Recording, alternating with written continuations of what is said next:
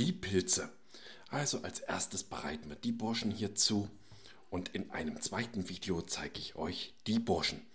Also, hier werden wir Pilze braten und dann nehmen wir die Rödelritterlinge zusammen hier mit den Schopftintlingen und eben noch so ein paar anderen Pilzen.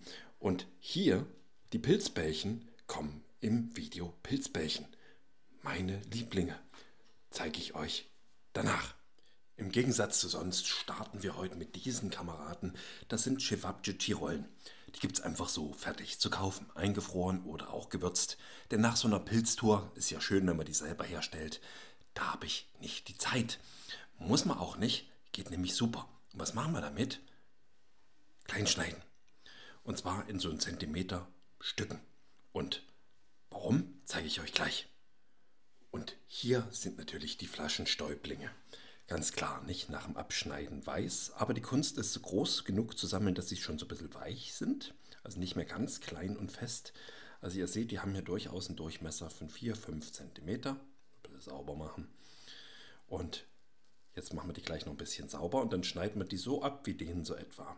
Und der Grund ist, ihr seht, der ist noch rein weiß, dann kann man hier mit dem Finger oder eben auch später mit einem Messer hier ein Loch reinmachen. Und dafür muss das schon so bisschen eine wattige Konsistenz besitzen, der Pilz, sonst geht das schlecht. Und in das Loch kommt die Füllung. Da geht eben alles Mögliche rein. Gehacktes, Kräuter und heute Cevapcici in kleine Stücken geschnitten. Es hat einfach den Vorteil, das kann man hier einfach reindrücken. Braucht dann jetzt gleich beide Hände. Und dann macht man den Pilz zusammen und dann wird er paniert. Und heute mal in einem Bierteig. Und das schmeckt sehr gut und das ist ja wirklich, riecht schon pilzig eine leckere Sache und ein natürlicher Pilzball. Ich nehme jetzt hier ein Messer, mit zwei Händen geht es deutlich besser. Und dann kann man das auch so machen, dass sie nicht einreißen. So, dann bohrt man sich hier ein Loch. Dann kommt einfach das gehacktes Cevapcici, die Füllung, was auch immer. Das geht mit Kräutern. Man kann das auch mit gehacktes machen. Mit Käse habe ich schon gezeigt. Heute mal mit so richtig kräftig gewürzten gehacktes. Also Cevapcici. Und dann hat man hier einen gefüllten Pilzball und der ist dann außen knusprig. Wenn der dann frittiert wird, wird er innen hohler. Das heißt, das ist dann mehr Platz, sumpft so ein bisschen zusammen. Und dann außenrum eine knusprige Hülle. Schmeckt richtig gut. Und die haben einen ganz feinen Pilzgeschmack und auch Geruch. Und die Burschen hier, die Flaschenstäublinge, sind wirklich unterschätzt. Man hört da so allerhand Sachen von Pilzsammlern, aber probiert es doch mal aus. Also, der Vorteil dieser kleinen Kügelchen ist natürlich, sieht schön aus. Und jetzt kann man die panieren entweder, ich werde die jetzt mit einem Bierteig tauchen, geht schneller beim Frittieren oder eben beim Braten. Man kann es auch mit Champignons machen, also es müssen jetzt keine Flaschenstäublinge sein. Was man halt macht, praktisch ist es ein gefüllter Champignon, nicht in dem Fall, aber ein mit Cevapcici gefüllter Flaschenstäubling. So, die Rohvariante ist fertig. Fünf Minuten. So, jetzt müssen wir uns mal ein bisschen um die Panade kümmern. Irgendwas müssen wir drum machen. Entweder tut man es wie ein Schnitzel panieren, heute mal anders. Also, wir nehmen 200 Gramm Mehl, mehr bis minder abgemessen. Man merkt das an der Konsistenz dann schon vom Teig, ob der klebrig ist. Dann für einen ganz normalen Bierteig zum Frisieren, 100, frittiert, nicht frisieren, 125 Milliliter brauchen wir ja, Bier den Rest trinkt Pilzfrau dann schon aus. Es kann auch ein bisschen schäumen, tut nichts zur Sache. Schmeckt einfach besser. Braucht noch ein bisschen. Also ihr seht, ihr seid live dabei. Und ganz ehrlich, wenn es ein bisschen mehr oder weniger ist, tut es jetzt auch nichts. Ja, ein bisschen mehr. Ein bisschen mehr Bier hat noch nie geschadet. Ist auch ein bisschen mehr Mehl drin. Und ihr seht, jetzt haben wir auch Volumen in der ganzen Geschichte. Dann brauchen wir zwei Esslöffel Öl oder einen, wir machen mal ein Sonnenblumenöl rein, das ist auch gleich der Schaum weg. Fünf Esslöffel Milch und Salz, Pfeffer, bisschen nach Belieben. Zwei Prisen Salz vielleicht nochmal drei, vier, fünf Umdrehungen Pfeffer. Zwei Eier, alles da rein. Bis gleich. Jetzt auch wirklich kein Wunderwerk, das ist einfach ein Bierteig. Kann man überall im Internet nachlesen, wie man das macht. Manche tun dann eben auch noch, wenn es besonders knusprig sein soll, erstmal das Eigelb vom Eiweiß trennen, das dann aufschlagen, das Eiweiß und das Eischnee runterheben. Ihr seht, kann man machen, muss man nicht machen, habe ich keine Zeit für. Dann kann man natürlich auch noch ein Quirl nehmen oder man kann auch ganz einfach einen Schneebesen nehmen oder was auch immer. Ich mache das einfach so, geht schneller. Der ganze Teig muss am Ende richtig schön klebrig sein und nicht zu flüssig, sonst läuft er beim Frittieren uns herum. Und jetzt machen wir das fertig und lassen das einfach dann auch ein bisschen quellen und gehen und eine halbe Stunde stehen. Also man kann natürlich auch einen Mixer nehmen. So, jetzt muss ich mal arbeiten. Ihr seht, meine Art von Bierteig ist fertig. Der ist jetzt nicht fluffig und leicht, muss aber auch nicht, klebt schön, darf dann auch nicht abfallen, also der fällt auch nicht von meinen Bällchen ab. Und natürlich kann man das alles auch fluffig und leicht aufschlagen, wenn man den Zeit hat. Aber lecker ist es trotzdem und so verwendet man das. Wer bittere Noten nicht so mag, der verwendet ganz einfach weniger von Bier und mehr Wasser. Ich wälze dann die Pilzbällchen noch mal kurz im Mehl, dann kommen sie da rein und ab ins Frittierfett. So, hier könnt ihr mal, ich wollte schon sagen, meinen Versuchsaufbau sehen. Nein, ihr seht, Wissenschaftler nicht, bleibt Wissenschaftler. Mein Küchenaufbau.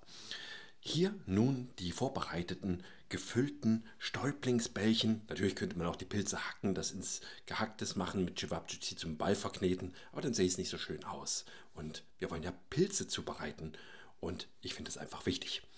Hier jetzt der Teig, habe ich ja schon gezeigt, der ging jetzt eine ganze Weile und der ist jetzt richtig schön geleberig. Und ihr seht, der reißt auch ab, nicht? Der zieht Faden, reißt ab. Man muss den Ball da auch rausbringen. Und das ist so eine vernünftige Konsistenz. Man kann den auch noch fester machen oder dünner, je nachdem wie dick oder auch weniger dick man das will. Und dass das eine klebrige Geschichte wird, seht ihr gleich. Auf den Teller kommt jetzt hier ein bisschen Mehl drauf, dass man eben vorher nochmal die Bälle so ein bisschen abmehlen kann. Dann hält der Teig besser, wenn man dünner hat. Ich mache den aber immer relativ dick und da ist das nicht ganz so wichtig. Wenn es euch zu dick gerät, der Teig, macht einfach Wasser dran, rührt es nochmal durch. Gerät er euch zu dünn, macht einfach nochmal Mehl dran und dann passt das. So, und Ihr seht, ich habe keine Heißluftfritteuse oder ähnliches. Dann hätte ich nur noch ein Gerät, was irgendwo rumsteht und bald im Keller steht. Also machen wir das so. Da muss man natürlich aufpassen, nicht das Sonnenblumenöl. Und wenn das heiß wird, ist es natürlich nicht ohne. Ihr seht, ich mache da so ein, zwei Zentimeter eine Ölschicht rein. Und ich nehme jetzt den Holzlöffel und wenn dort Blasen aufsteigen, was noch nicht der Fall ist, es beginnt gerade, dann ist das heiß genug. Rauchen und dampfen sollte es auf gar keinen Fall. Und das ist vielleicht ein bisschen was für die fortgeschritteneren Frittierer, für alle anderen. Kann auch Fritteuse nehmen. Also fangen wir mal an.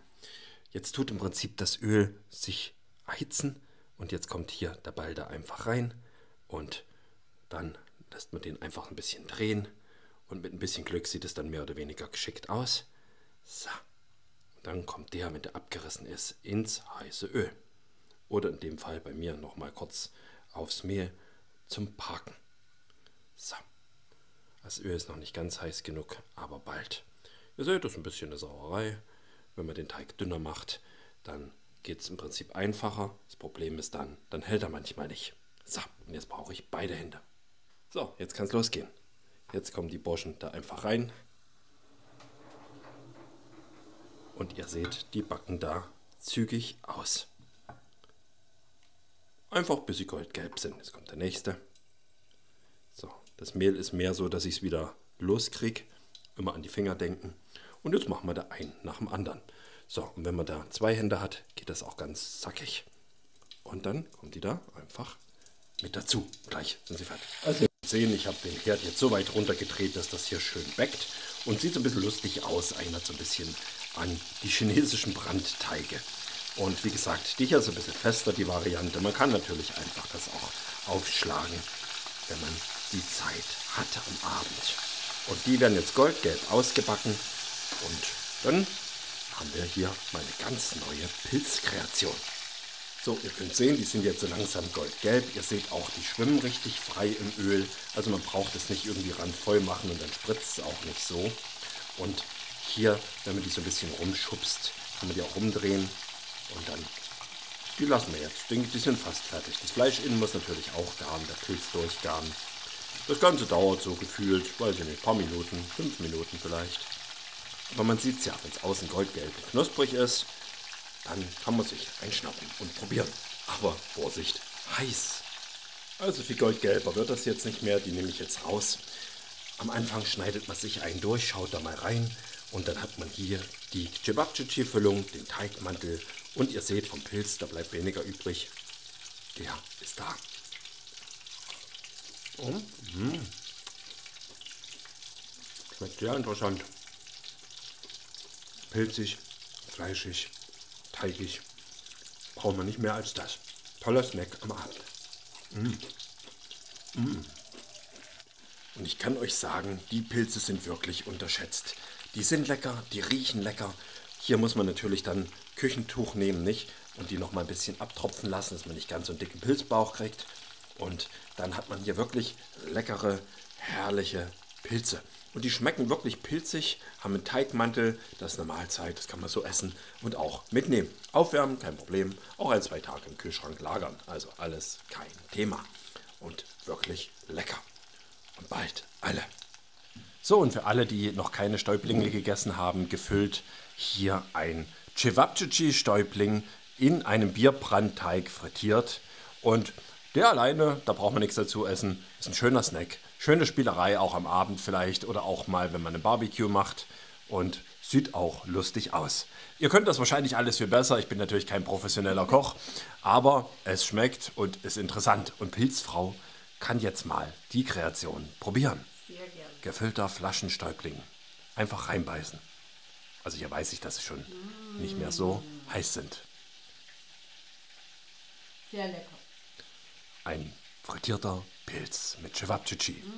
Auch wirklich richtig schön pilzig. Und der hat auch richtig Persönlichkeit. Pilzig. Lassen wir ein paar übrig. Nein, wir haben noch welche. So, und im Hintergrund hört es noch frittieren. Also ich tue noch ein bisschen was und sag bis bald im Wald. Tschüss.